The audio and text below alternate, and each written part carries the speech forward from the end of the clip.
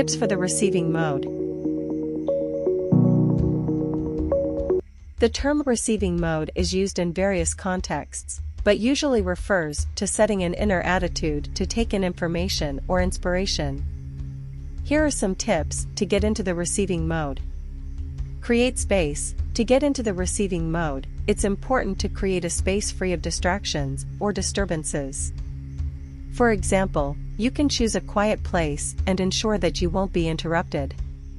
Relax. To get into the receiving mode, it's important that you are relaxed and open to the moment. You can do a breathing or relaxation exercise to calm and relax yourself.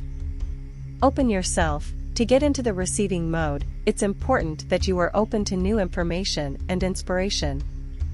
You can set a positive and receptive attitude and be ready to explore new perspectives or ideas. Be curious. To get into the receiving mode, it's important to be curious and ready to ask questions. By asking questions, you can direct your attention to certain topics and open your mind to new information. It's important to note that everyone can get into the receiving mode in their own way and there's no one size fits all solution. It can be helpful to try different techniques and see what works best for you. Thank you.